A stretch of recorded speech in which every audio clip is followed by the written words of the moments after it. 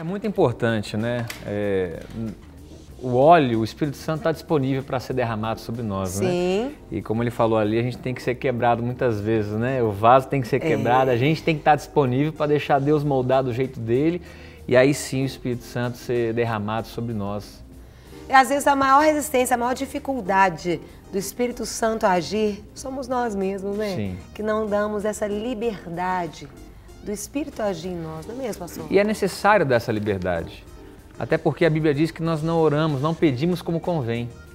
Então aí entra o Espírito Orar e não receber porque pedis mal. É. Pedir para as vossas gente, concupiscências, para a sua vossa vontade. A gente não ora como convém. E, e, a pessoa do Espírito Santo é necessária porque aí ele, ele leva para o Senhor com gemidos inexprimíveis, com aquilo que a gente não sabe expressar. É Sim. então é muito importante essa comunhão, esse contato com o Espírito Santo, nós deixarmos Deus agir Sim. e sermos convencidos e consolados pela pessoa do Espírito Santo. E aí eu fiquei até, até vamos falar um pouquinho sobre os, o fruto do Espírito Santo, né?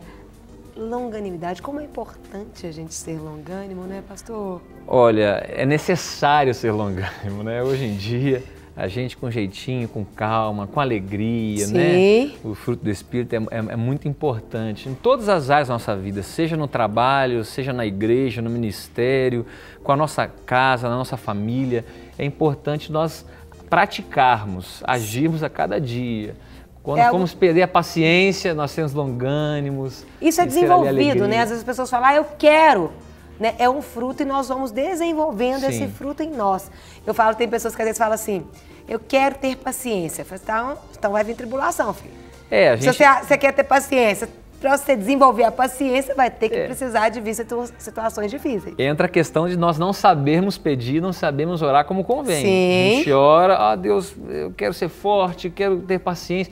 E aí vem uma situação, uma tribulação, uma prova para testar realmente se aquele fruto está sendo vivido na minha vida, né?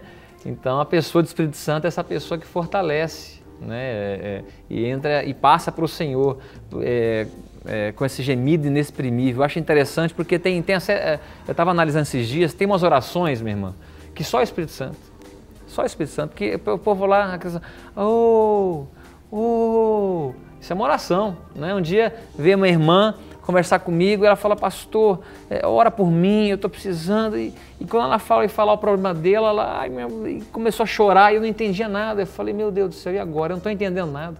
Mas o Espírito Santo sabe a necessidade Sim. dela, levou para o Senhor, eu, Deus, faça a tua vontade, que o Espírito Santo age aí na vida da irmã, em nome de Jesus, né? Então há necessidade da gente orar a Deus e saber e entender que a nossa vida estando nas mãos do Senhor, o Espírito Santo tendo a liberdade de agir no, no, na, na, na, nossa vida, no nosso meio, aí é uma vida vitoriosa. E todas as áreas da minha vida são refletidas pela ação do Espírito Santo que eu deixei ele ali né, o espaço que ele eu dei para ele. Deixou o Espírito Santo ser o Espírito Santo na nossa ser vida, né? É, muita gente, a gente quer fazer o que o Espírito é. Santo tem que fazer, né? Até ele quer fazer, mas, poxa, é, olha, eu vou esperar você desconfundir tudo aí, que aí eu venho, entro e ajo. É né? verdade, eu fico pensando, né? É, aqui eu tô até com a minha Bíblia aberta em Gálatas, né, no versículo 22, que fala do fruto, né, do Espírito. O que as pessoas mais procuram hoje é paz. E o fruto do Espírito é paz. É paz. Né? Hoje nós vivemos situações, você mesmo ali tem um, já trabalhou e trabalha com pessoas que estão até fora do mercado de trabalho, Sim. estão desempregados por enquanto, porque nós profetizamos né, um trabalho para você no nome Amém, de Jesus. Em nome de Jesus. Mas para ter paz somente com o Espírito Santo diante de circunstâncias que nos deixam agitados, não é, pastor? Sim, hoje em dia, infelizmente, nós temos um quadro no nosso país muito ruim em questão do desemprego e tantas outras coisas. Porque o, o, desemprego não é algo isolado. O desemprego no homem, na vida de uma mulher, na casa, afeta todas as áreas, afeta o casamento, o relacionamento com filhos e tantas outras coisas. E isso tudo vai deteriorando a partir do momento que as pessoas vão perdendo a paz. A maioria das pessoas hoje não consegue dormir sem um remédio, hum. sem um calmante, então, nós temos que ter esse entendimento. E quando nós entregamos a nossa vida para o Senhor Jesus, aí nós damos brecha e damos acesso ao Espírito Santo agir. Porque a Bíblia diz que ele nos assiste na nossa fraqueza. Mas não é assistir e ficar só olhando, né? E olhar e falar, ah, lá está se lascando, meu Deus do céu. Não.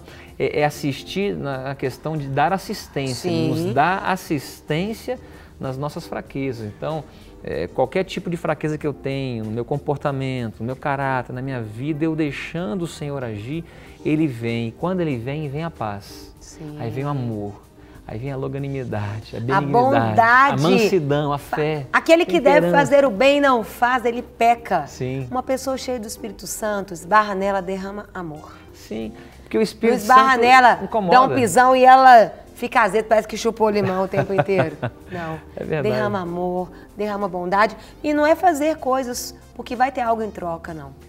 Mas é porque tem esse Espírito que habita nela que o, do interior, ela faz coisas que ela nem percebe, porque ela é conduzida, conduzida pelo Espírito. Conduzida pelo Espírito. É quando, tem tem uh, certas situações na nossa vida que quando nós vimos, já falamos, já agimos, não é verdade? Sim. Então, muitas pessoas perdem a amizade, perdem a família, perdem certas oportunidades pela impulsividade.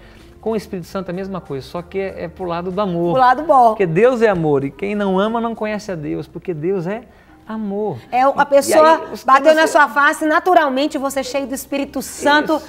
você fala, eu te perdoo. É verdade. Eu já eu vi te várias, abençoo. várias pessoas transformadas que quando deixam o Espírito Santo entrar no coração delas, em determinadas situações onde as pessoas esperam uma, uma reação já é, aguardada. Bom, agora ela vai, vai, vai, repente, vai, chegar e vai detonar é, tudo. De repente a pessoa tem uma atitude ama. cheia do Espírito Santo. Tem paciência. A pessoa até duvida, fala o quê?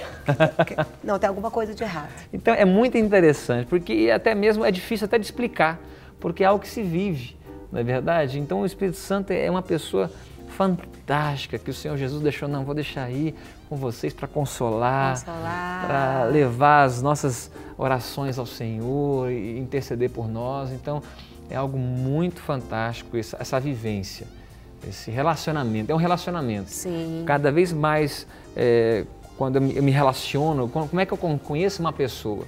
A partir do momento que eu gasto um tempo, que eu invisto um tempo, que eu me relaciono com ela para conhecer o jeito de olhar, na é verdade? Então, Sim. o Espírito Santo é a mesma coisa. Quanto mais eu, eu gasto um tempo, invisto um tempo em me relacionar com Ele, é, aí a gente vai é, mudando os nossos comportamentos. Não sei se você já viu certas pessoas que quando relaciona com a outra, começa a pegar o jeito da outra. Isso mesmo. Né? E, e, jeito... marido e mulher, né? É, é verdade. Por conviver muito, tem horas que fala assim, gente, não, tá falando com quem? Teve, teve, um dia, não, teve um dia que eu fui no local, aí eu tava com a minha esposa, eu falei, vocês são irmãos? Eu falei, não, porque vocês, vocês fazem a mesma coisa, vocês, vocês falam igual. Eu falei, não, é que eu a amo e ela me ama e a gente convive já há um tanto tempo Sim. que já é, pegamos algumas formas ali de, de, de, de comportamento e tudo. E a pessoa do Espírito Santo é a mesma coisa. Quando nós vemos, a gente já está falando em espírito, já estamos é, é, refletindo a imagem do Senhor Jesus. Amém. Pastor, que delícia!